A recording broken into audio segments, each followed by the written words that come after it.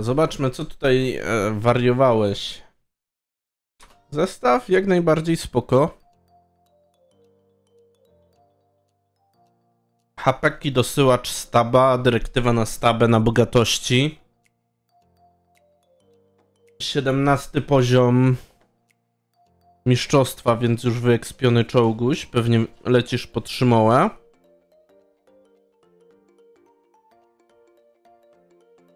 Bitewka na, na dyszkach.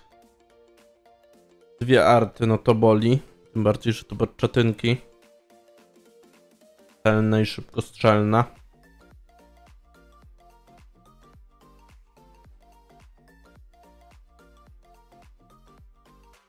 Jesteś jako pierwszy tutaj. Z bardzo dużym wyprzedzeniem sojuszników swoich. Jeśli chodzi o 50 TP, to działo, które ma 303 peny, tak jak działo z ISA 7. Przy jeszcze wyższej alfie to jest cudo na dziewiątym tierze. No i co, mamy pierwszą pechę. 704 nie trafiła, my przez to, że jest na traku od naszej arty robimy jej drugą pechę. Tutaj gościu bez strachu, bardzo bez strachu.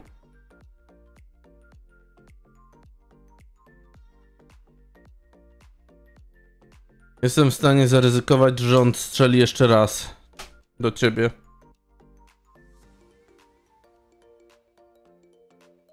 Chociaż z drugiej strony, no, nie strzelił, bo jeśli gościu tak na początku wjeżdża bitwy po czołg, to prawdopodobnie nie ma modułów nawet, więc szybciej przeładowałeś od niego.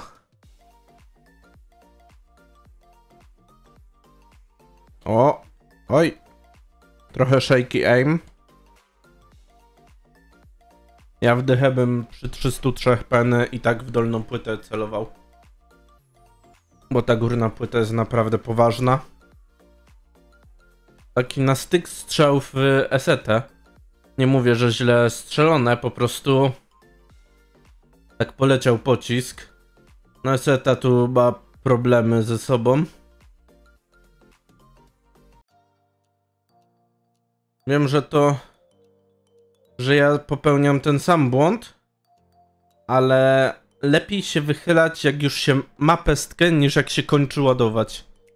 Bo wtedy krócej się pikuje na gościa.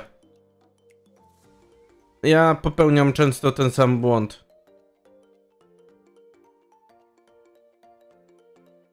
No co, 3300 zrobione. A tu w sumie początek bitwy. 1000 HP stracone. Przede wszystkim z hita o te setki, który siadł po garze i to tak końcówka gara.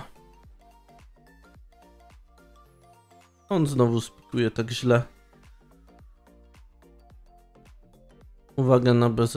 Dobra, nie ma przestrzału BZ. Sorry.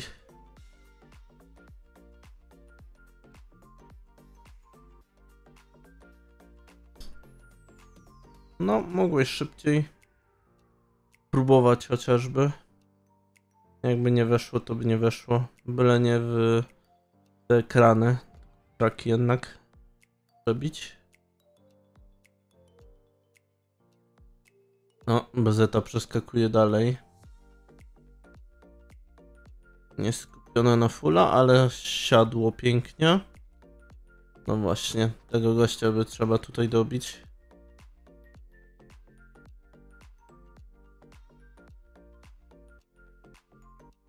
Pięćset siedemnaście. O, tu jest działo 560 alfy, więc... Piękna alfa. Na tym tierze. Ale ci pięknie pestki się dają. To jest to, linia do Pulaka ma jak na swoje dosyć duże działa, ma piękną stabilizację. Tym bardziej, że wiesz jak ją zmaksymalizować. Lecisz tutaj na e, na stabie i dyrektywie na stabę.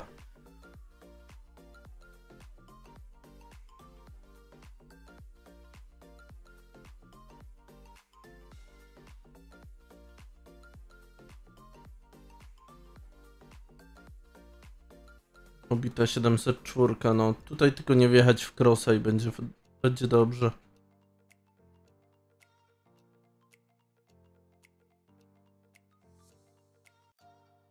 Ciebie strzeli. Aha, nie strzelił wcale, ok. I teraz pik będzie. 704. Tył głowy.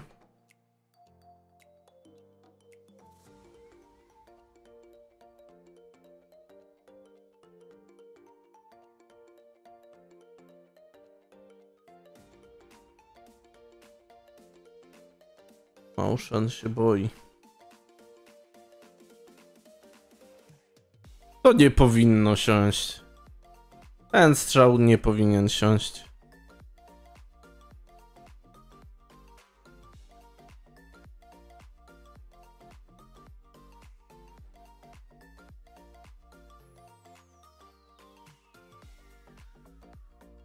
Nie można sobie na Polaku na takie kąty za... pozwolić. 7333.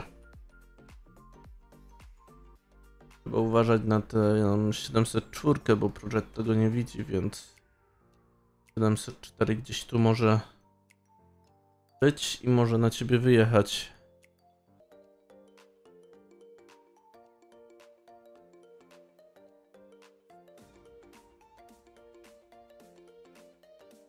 Question, jak długo będziesz skupiał? No właśnie, pierwszy raz RNG nie było po twojej stronie w tej bitwie.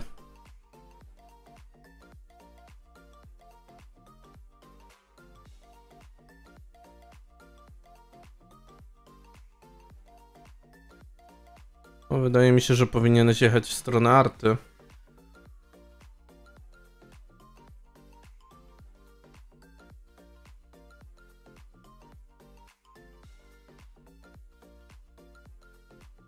Tym momencie z każdej strony masz czołgi, które na ciebie mogą wyjechać.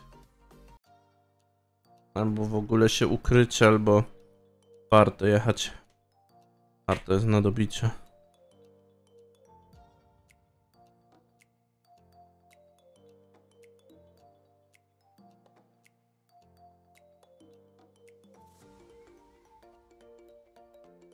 W tym momencie masz jeszcze jeden plus.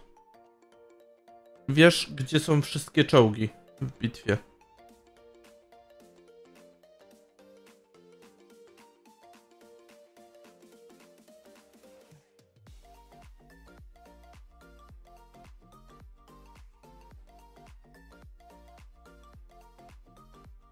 No, jeśli go nie będzie tutaj, to już jest po prawej stronie.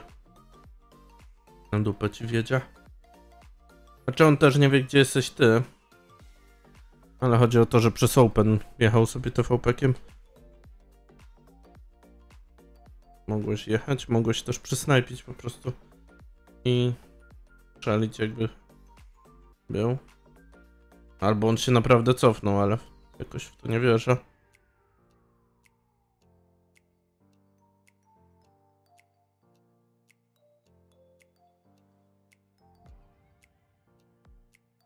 U. Apeczkiem.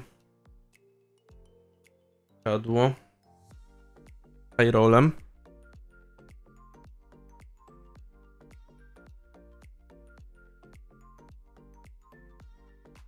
No i minus ty. 8000. 8000 dziewiątym tierem Polakiem. Czy ta bitwa była do wygrania?